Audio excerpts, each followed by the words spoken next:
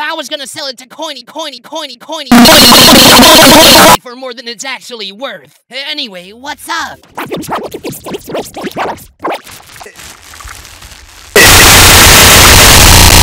It's really heavy. Hmm, what if we use...